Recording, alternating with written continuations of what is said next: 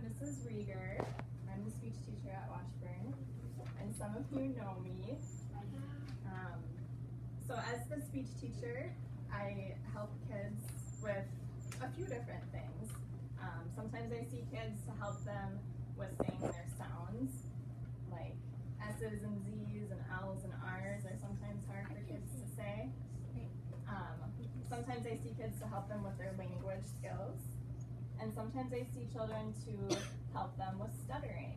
And that is what Olivia and Sophia have been coming to a speech to see me for. Um, sometimes we call stuttering bumpy speech because that's kind of how it sounds. It sounds like bumps. And we are very lucky to have Olivia and Sophia with us today because they are going to talk with you about stuttering. And the reason that they want to do that is so that you understand it a little bit better. They want you to know things that are helpful and things that are not helpful to them. And I want you all to show your absolute best Washburn pride today because Olivia and Sophia are experts on stuttering. And we always want to treat an expert on a topic with lots of respect. Also, we know that for anybody in here, it's not easy to get up in front of a large group and talk to lots of people. And not only are Olivia and Sophia doing that, but they're doing something that can be extra hard for them at times, which is talking. And we all can think of things that are hard for us, right?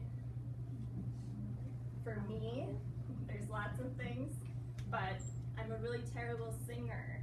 And if I had to get up here and sing in front of all of you right now, it would not be good. And you know what? It would probably be even harder than what it normally is for me because I would be a little bit nervous. And it's kind of a similar situation for Olivia and Sophia today. They may have some extra bumps in their talking because they're presenting, and that's not an easy thing to do. But one of their most important messages today is that it's okay if they have bumps because bumps are okay. Stuttering is okay.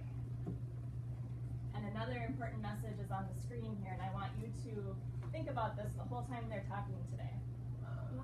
And that's to listen to what they're saying, not how they're saying it. Okay? And also, just as they talk, be thinking about questions or comments that you might have, because at the very end, we'll have time for questions and comments. No. Okay? Alright, so I now introduce to you Olivia and Sophia, the very, very brave presenters that we have today. Stuttering. What you, you, you need to know. By Olivia, uh, by Olivia Hint. And Sophia Sophia Kajowski.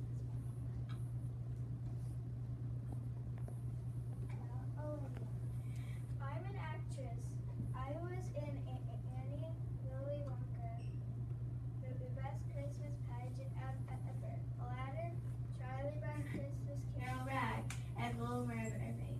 My, my favorite color is neon blue. I swimming dance for seven years. I take singing lessons. I have a dog named Jack. He's a Bichon Poodle. My dad has two brothers and one sister. And my mom has three sisters. I'm a good friend. I sometimes have fun from speech. You guys, would you want to share Sophia's microphone since that one's working a little bit better? Just bring it back and forth. So Sophia, why don't you come stand on this side?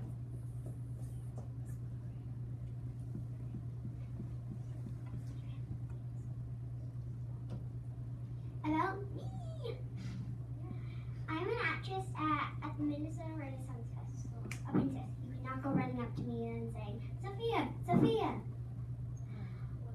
My favorite color is purple. I'm a good singer and dancer. I have a very large family. I'm a good friend. I have a flexible body and I am very, very stubborn. Sometimes I talk really fast and have fun. I have a safety. Speech. Have you ever wondered what what is stuttering? Why do people stutter? Who stutters?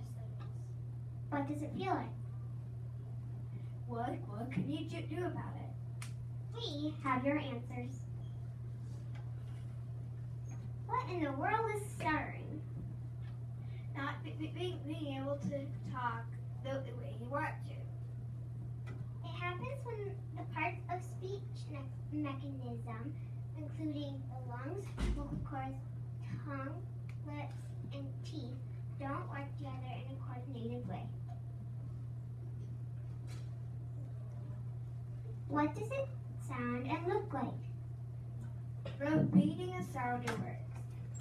Holding out a sound for too long. Getting completely stuck.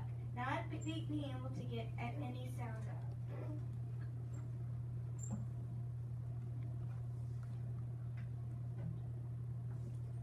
Sometimes different facial and body movements happen when a person stutters, such as rocking hand motions, bouncing up and down, blinking eyes, and tightness in the face. The, these are called sec- secondary hearing, hearing, char- characteristics to, to stutter. Usually, the harder a person tries not to stutter, the more they stutter. Stuttering does not Have it have anything to do with, with how smart smart I am? happen because I'm nervous. Stuttering is not my fault. What causes stuttering? We don't know for, for for sure. Scientists and researchers continue to, to look for a cause. We do know that genetics can contribute to stuttering. Sixty percent of, of people who stutter have a family me- me- member who stutters also.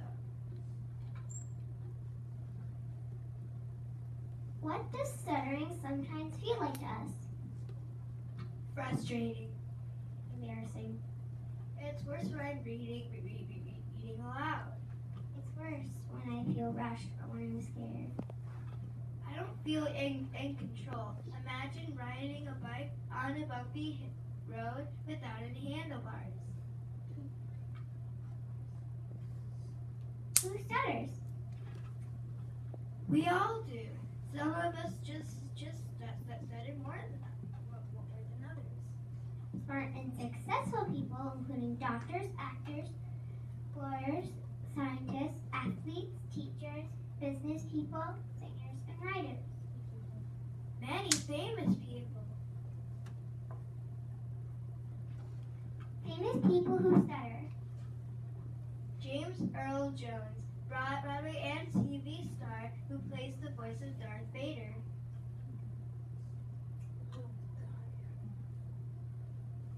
Joe Biden, Vice President of the United States. John Stott, Stott a very sick, successful, successful TV news news, reporter. Marilyn Monroe. She was a famous actress.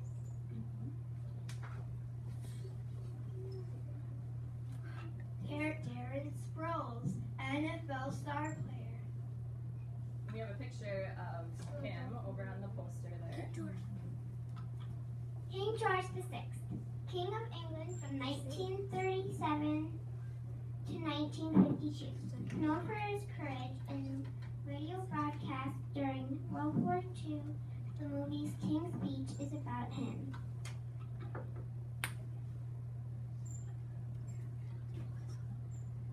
Liz- Lazaro Ar- Ar- Ar- season, season 12, American Idol. He did not let his stuttering de- define him. His success had the entire country talking about sing- singing and, stuttering. And we're gonna watch a video right now of Lazaro auditioning for American Idol. And one thing that I want you guys to know is that stuttering sounds different from one person to another. So Lazaro is someone who stutters pretty severely. You're going to hear lots of bumps in his talking, and also you're going to see how his stuttering sometimes even affects the movements of his body. And those are called secondary characteristics, like what Olivia was talking about. And be watching for what happens when he sings.